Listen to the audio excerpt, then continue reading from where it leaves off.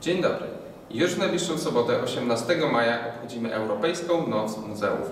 Z tej okazji serdecznie zapraszamy do naszego muzeum na maraton filmu etnograficznego. Spotykamy się o godzinie 20.30 i zobaczymy kilka filmów pokazujących uroki naszego kraju. Niezależnie od tego, już od godziny 12 aż do północy otwarte dla Państwa będą ekspozycje na Zamku Szydłowieckich i Radziwiłłów. Serdecznie zapraszamy do spędzenia tego dnia, wieczoru i nocy razem z nami.